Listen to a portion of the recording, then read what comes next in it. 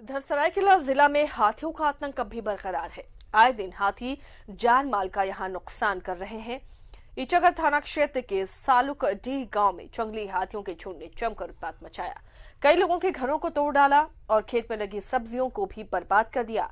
ग्रामीणों ने वन विभाग की ओर से कार्रवाई नहीं होने पर नाराज़गी भी दिखाई है। इस इलाके में पहले भी हाथियों के पैरों तले रौंदे जाने से कई मौतें हो चुकी हैं।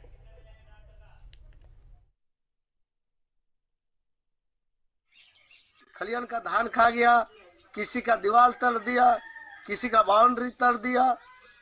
और इसको अगर जल्द से जल्द, अगर इसका भुगतान अति शीघ्र अगर नहीं हो रहा है तो हमारे सिद्ध पंचायत के जितने भी ग्रामीण, हम लोग उस वन क्षेत्र पदाधिकारी के कार्यालय में हम लोग धरना देने के लिए गोमिया के रोला गाँव में कल देर रात जंगली हाथियों के झुंड ने एक बार फिर उत्पात मचाया। झुंड ने गाँव के कई घरों और फ़सलों को क्षतिग्रस्त कर दिया।